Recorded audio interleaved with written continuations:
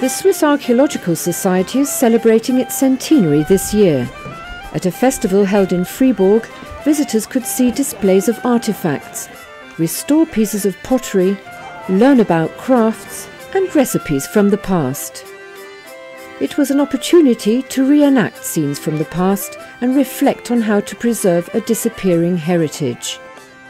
Events like the festival are also about winning more financial support.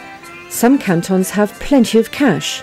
Others, all in central Switzerland, don't even have their own archaeological service. We're going through it uh, through a period of a lot of construction, of increased construction and uh, development, and that means consequently that a lot of sites are going to be menaced or are being menaced or are being destroyed.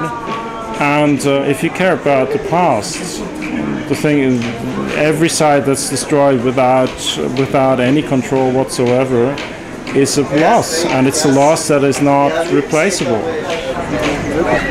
Einfach das Loch zustreichen. Ja, richtig, ja. You erase it with a spatula. You only cover the holes. Right, and when the Romans ran out of wax, they wrote on wood. That you can't erase. The thing was then thrown away. 2,000 years later, archaeologists dig it out, and they can read what the Romans wrote on the wood preserved under the soil. The message on the wax disappears. On wood, you can still read it 2,000 years later. vergeht. Im Holz kann man es in 2000 Jahren noch lesen.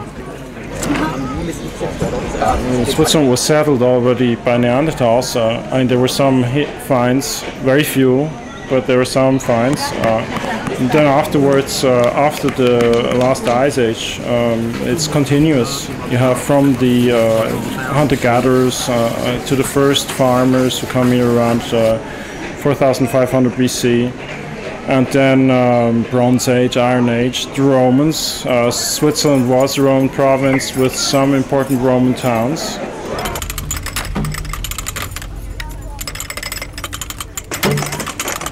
Lorica uh, segmentata. Is made of iron plates. That put it together with um, leather strips. And uh, it's normally about 10 or 12 kilos.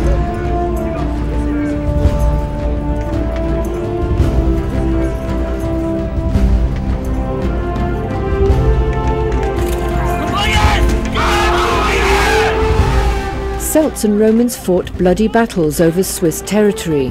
Today, archaeologists also have to put up a fight to improve or at least maintain their position. Maybe less brutal, but still crucial.